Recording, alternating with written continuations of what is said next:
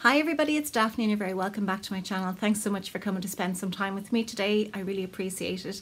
I'm in my very casual clothes today and this is a slightly different kind of video because I want to talk about how we can stay positive during this COVID-19 pandemic um, and worldwide um, happening crisis whatever way you want to call it whatever you want to call it that we are all united in this.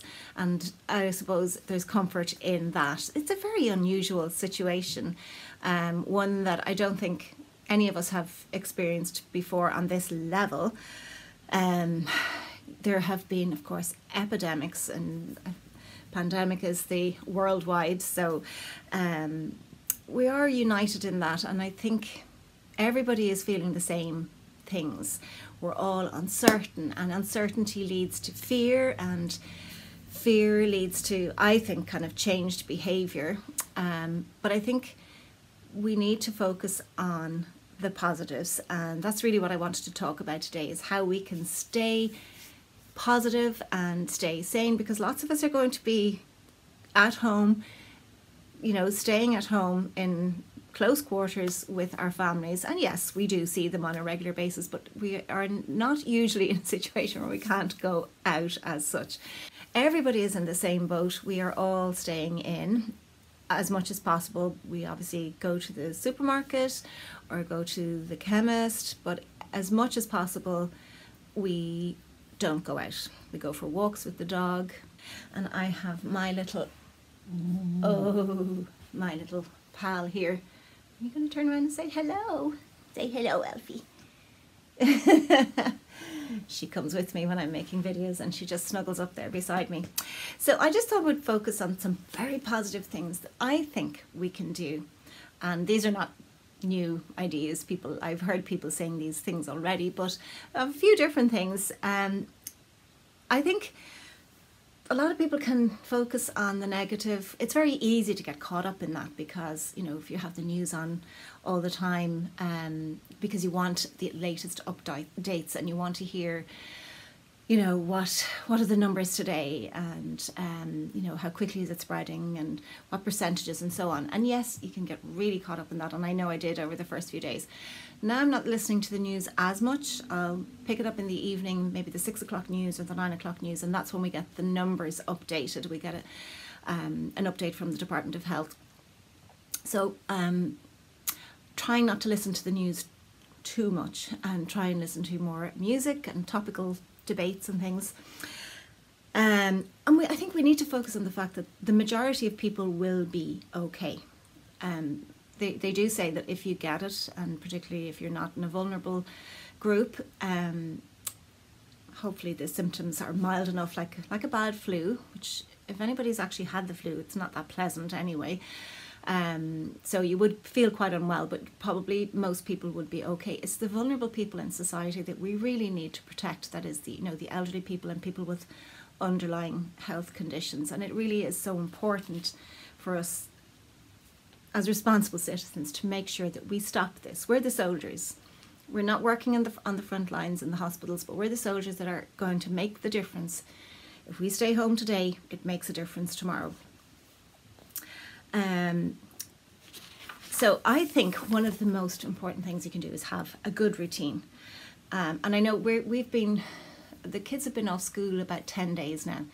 So they finished on a Thursday. So from the Friday a week ago, they were all at home from school and college.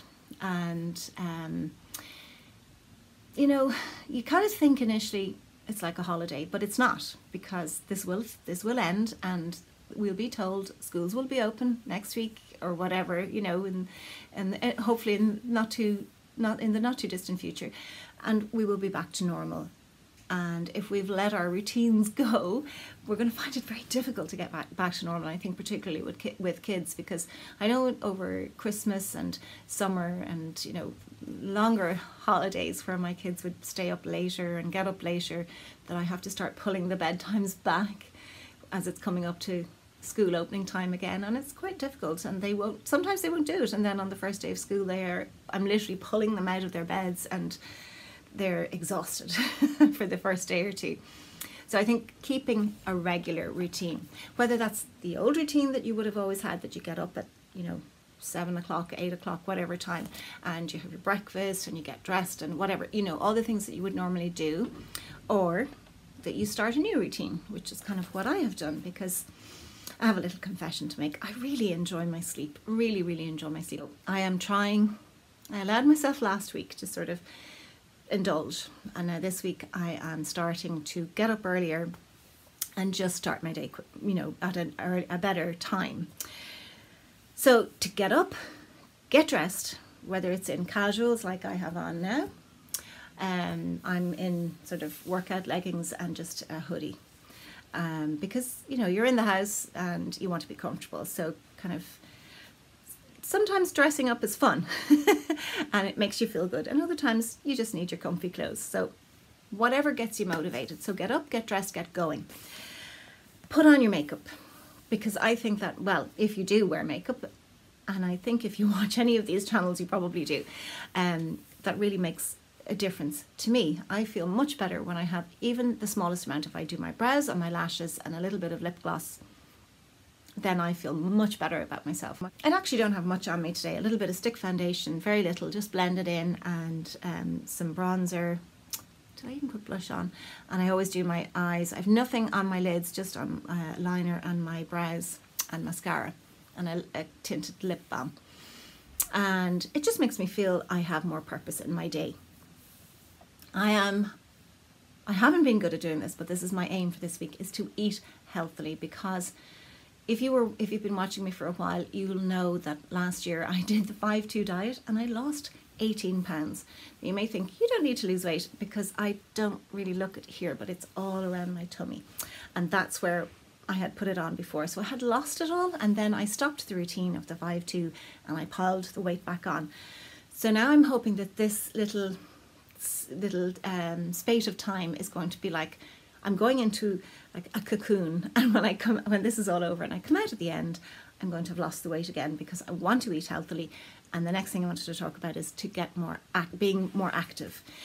I, mm, I'm not good at being active. I'm really not. My older kids are really good at being active and being fit, and I want to try and establish a better um, fitness regime. Not nothing too, nothing too exhausting, nothing too difficult, but you know, going for power walks, not just walking the dog, because those of you who have dogs will know that sometimes your walk with a dog is not a power walk. You're stopping because they have to sniff everything and stop every so often.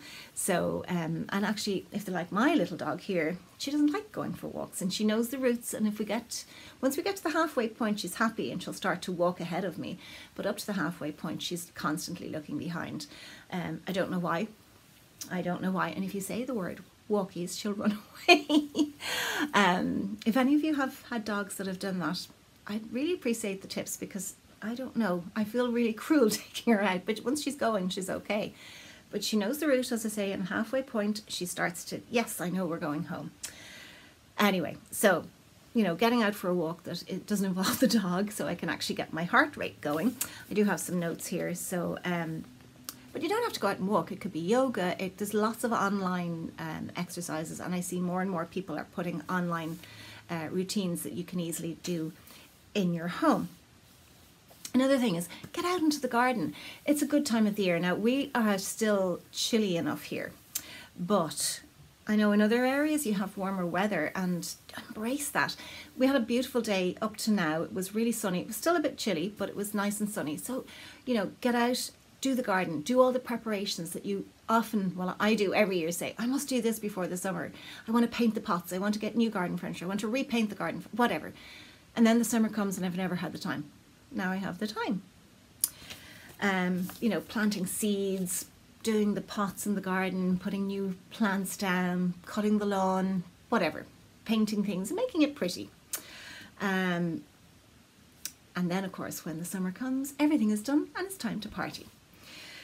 Staying in touch with people is really, really important, um, particularly with older relatives, and you can do that by simply texting or a telephone call, but you can also Skype, FaceTime, or WhatsApp call so that they can actually see you and you can see them. And that kind of contact, I think, is really, really important. We do with with my mother-in-law, sadly, my parents are no longer with me. Um, but I know if they were, that's what I would be doing because I would be missing them terribly. I do miss them terribly. Um, you could always go back to the old fashioned way and write letters, and then people can keep them and have them as, you know, I suppose, as almost a diary, a social diary um, of what's been happening. And that also would tie in with keeping a diary because people are being encouraged to do so because this is a social history. Um, one of the things I've been doing is baking more. Just simple recipes, things that I know my family love, loaf cakes, oatmeal cookies, things like that. And I have to say, they've been disappearing very quickly. I've also been cooking different recipes. I've been challenging myself so that to keep things interesting and that every day so what's for dinner and I've found some really nice recipes to, to use from some of my books but also you know some of my cookery books but also from online self-care is so so important so taking time for yourself so that you do feel you're recharging your own batteries be it through meditation prayer do, having a little spa day um, giving yourself a home manicure home pedicure um, hair masks, face masks, anything like that. The next thing is really important. Get to bed at a reasonable time because, again, I am really guilty of this. I am inclined to stay up too late, whether it's up late watching TV, which I don't tend to do too much, but I do stay up late reading. I'll get stuck into my book and I can't put it down, and it could be one o'clock, half one before I put the book down, and then I'm exhausted in the morning and have to sleep later, so I have to stop that. So go to bed and go to sleep at a good time it's your circadian rhythm, I think it's called. You really need to keep that at, at, in its normal routine. Watch old movies, anything that gives you a connection and a sense of, um, you know, connection to your past and a sense of uh, safety and comfort. I love that. Um, start a new series on Netflix. Play music, get up and dance. And the other thing I was going to talk about was books, and I'm going to do a separate video on that because I have I have so many recommendations. So thank you so much for watching. Please give me a thumbs up, and I'll talk to you soon. Bye.